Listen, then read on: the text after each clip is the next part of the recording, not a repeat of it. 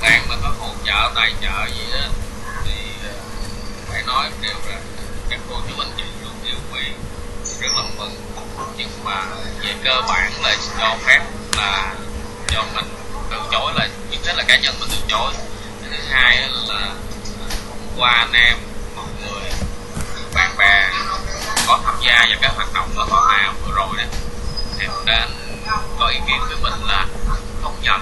Có nghĩa là để cho cái việc này nó trở nên nó tốt đẹp hơn nghĩa là trong lòng mọi người chúng ta còn với nhau đến với nhau về cái tình cảm.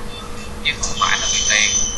Lo rằng ấy, mọi người khi mà được sự ưu ái gửi gấp tiền bạc nhiều quá đâm ra nhìn thấy cái lợi cái lợi nó lớn thì nó sẽ trở thành cái cái trục lợi.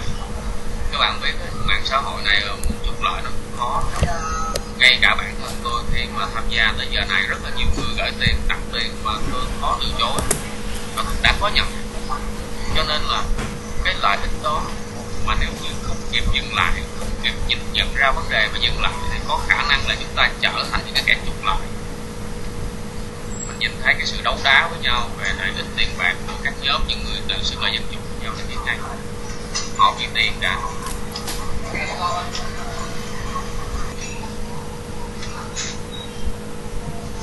Rồi có một cô ở uh, cái, cái bang nào đó. Không nào nói chuyện cái này thì uh, cô ấy ờ, uh, gửi gợi ý là tặng quà cho mình một ngàn đô. Cô ấy gửi thực ra mà nói con số cái số tiền đó đối với người lao động như mình đó một bạn như mình rất là lớn. Nó là thu nhập cả tháng nhưng mà mình nhìn lại mình thấy nếu mình nhận nó tốt cho mình thật. Mà nó tốt lúc này nhưng mà lại trở thành một cái có sự lệ thuộc về tiền bạc. Các bạn biết là kể từ sau cái ờ, các cái vụ việc như những lần trước nhiều người gửi mà mà mình từ chối cũng được phải nhận ít thôi. Nhưng mà sau đó thì bạn biết là cái, trong cái tâm mình nó cũng xuất hiện ra một cái yếu tố gọi là trục lại vậy mà mình làm này nhiều người, ta người ta gửi tiền như này tốt quá cũng gì thì, uh, cho nên là tự nhiên mình cũng bình tâm lại. Thấy là không cần thiết. Mình thấy là nếu không khéo là mình sẽ trở thành đi vào cái xe đổ của những cái người mà hoạt động dân chủ ngoài kia. Thì lúc đó cái giá trị đấu tranh cái giá trị của mình để mà khi mà đấu tranh chống các cái luận điệu xuyên tạc bị người khác bóp méo lại thành cái việc lên mạng để trục lại. Do đó cho nên là mình cảm ơn tất cả những cô chú anh chị đã có sự giúp đỡ và có cái tâm hỗ trợ cho mình và mọi người. Nhưng mà cũng xin phép được uh, mọi người hãy để lại đó.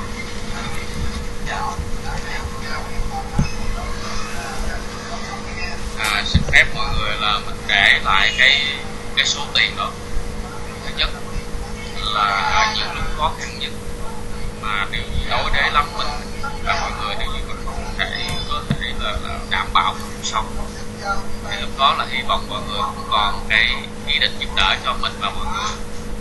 Nhưng mà ở ngay lúc này à, lúc mà mọi người vẫn có thể là đảm bảo cuộc sống của mình thì việc nhận cái số tiền nào đó về nó không có mang ý nghĩa lớn lắm.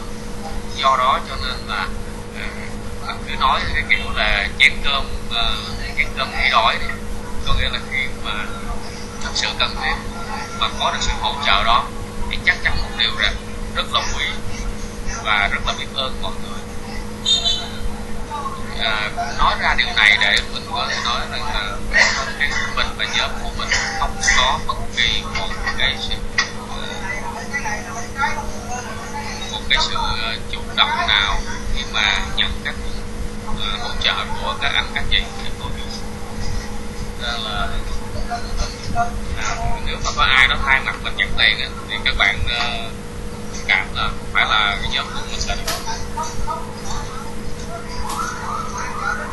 năm người đạt năm người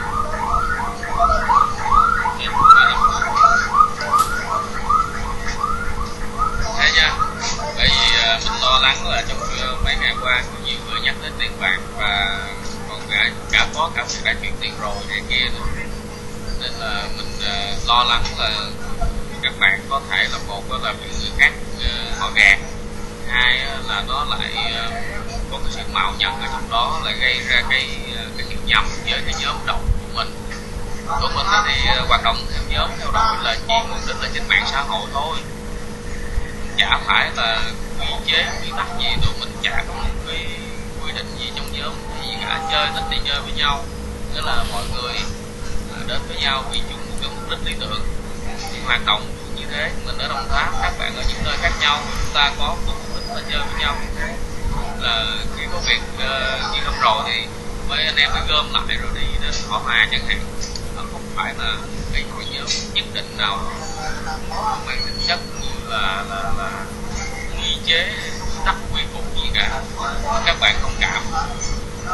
Thế quyền lợi của mọi người. Nó giống nhau.